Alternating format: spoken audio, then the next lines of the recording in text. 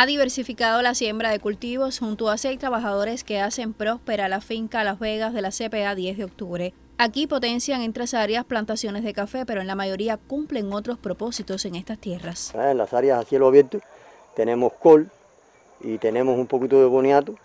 Estamos preparando los otros terrenos para sembrar frijol ahora de campaña de frío. Y estamos inmersos también en un vivero de semillas de plátano, de plátano FIA 4, que vino en vitroplanta y entonces lo estamos trasladando para una bolsa mayor para que tenga un mayor porte para llevarlo a, la, al suelo ya directo. Tenemos el área ya prevista, ya con roturar, con picadora pasada para mantenerle y, darle la atención cultural que lleva el, el plátano. Una nave rústica construida desde el esfuerzo propio ha sido vital para el incremento aquí de las cosechas. El año anterior tuvieron producciones muy buenas de tomate.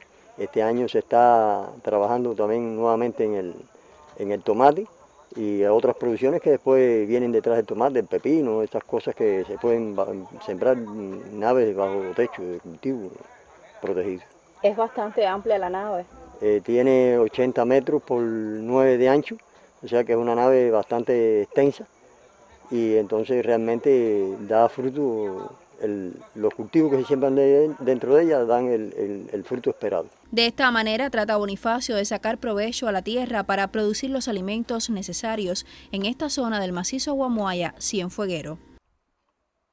Mayelín del Sol, Sistema Informativo de la Televisión Cubana.